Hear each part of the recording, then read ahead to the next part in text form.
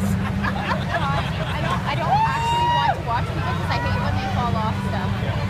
It makes me nervous. I'm so scared for her right now.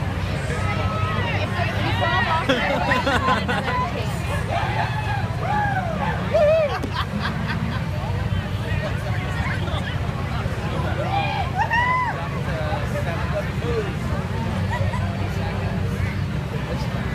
spin around like